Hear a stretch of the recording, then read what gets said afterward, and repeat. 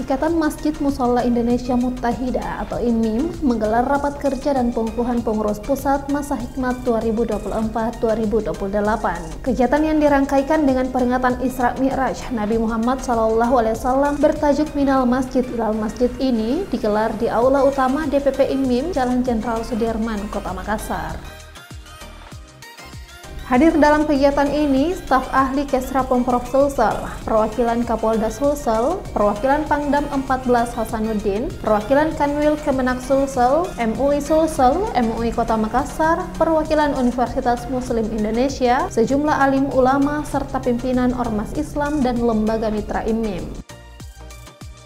Ketua Umum DPP IMIM, Dr. Kiai Haji Muhammad Ishak Samad, pada kegiatan yang mengusung tema paradigma baru dalam layanan dakwah IMIM, menjelaskan pentingnya meningkatkan kerjasama serta meningkatkan kualifikasi mubalik dan masjid. Ishak menjelaskan di awal kepengurusannya ini, timnya berfokus mengaktifkan website IMIM yang tujuannya lebih mendekatkan masyarakat, khususnya generasi Z dan milenial yang biasanya sibuk bekerja namun membutuhkan materi spiritual program digitalisasi yang akan menyasar generasi Z dan ibu-ibu milenial dengan mendakwakan Islam wasatiyah.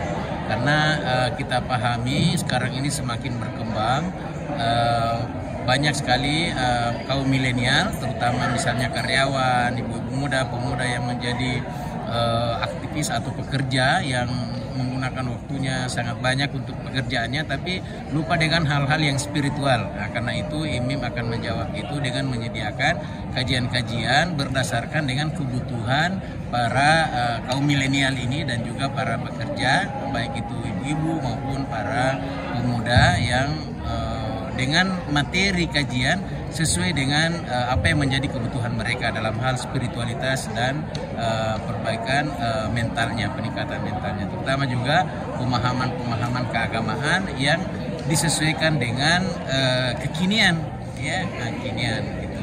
Sementara itu, Ketua Umum Yasdik IMIM Haja Nur Fajri berharap IMIM akan semakin terbuka dan inklusif dengan berbagai mitra dalam peningkatan layanan umat. Kegiatan ini dirangkaikan pula dengan penandatangan MOU dengan berbagai institusi, lembaga dan ormas seperti Kemenak Sulsel, Basnas Sulsel, Dewan Masjid Indonesia, BKPRMI, Kasturi, BSI Makassar, Muslimat NU, Ibnu Sina, Rakyat Sulsel, dan berbagai instansi lainnya. Kerjasama dengan Harian Rakyat Sulsel disambut baik oleh Direktur Harian Rakyat Sulsel Daswar Emrewo. Menurutnya, Harian Rakyat Sulsel hadir menjadi wadah di mana para mubalik bisa memperoleh informasi seperti jadwal ceramah dan nama masjid. Setiap uh, mimbar Jumat itu, ya, ya, situ akan ditampilkan uh, jadwal-jadwal khatib, ya. siapa yang ceramah di masjid ya. ini, ya. dan itu dikerjasamakan di pengurus-pengurus ya, ini nanti, jadi nanti kita daftar. Ya. Uh, jadi pagi-pagi pengurus ini dia sudah baca iya, iya. koran digital kita